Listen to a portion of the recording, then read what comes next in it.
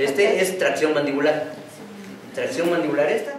Se está realizando una capacitación con todos los estudiantes de INTECAP, ya que pues se ha tenido la secuencia con ellos en cuanto a poderles brindar eh, el conocimiento de primeros auxilios a lo que son eh, pues eh, a los reposteros, a, a, las, a cocina y a otras áreas de este instituto. Se ha estado trabajando con ellos pues de esta semana y el día de hoy también se está trabajando con otro grupo de, de alumnos para que ellos puedan tener los conocimientos básicos de cómo actuar ante una situación, ya sea por una quemadura, una hemorragia o una fractura. Pues, primero movimiento.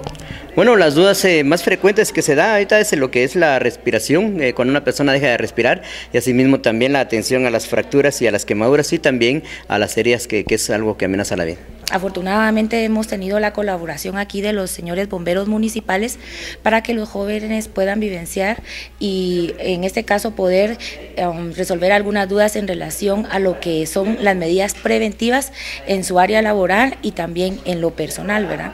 Déjenme comentarles que esto es interesante para fortalecer el aprendizaje de ellos, ¿verdad?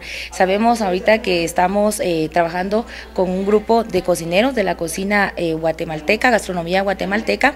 Eh, eh, pero dentro de lo que es su pensum de estudios se incluye un módulo que les permite, ¿verdad?, poder tomar en cuenta eh, varios aspectos en cuanto a su desenvolvimiento personal y en este caso a, su cuidado, ¿verdad? Cuidado, como dije eh, primeramente, en su área laboral, cuando estén ejerciendo como tal, como cocineros, y los cuidados que deben de tener personal, ¿verdad?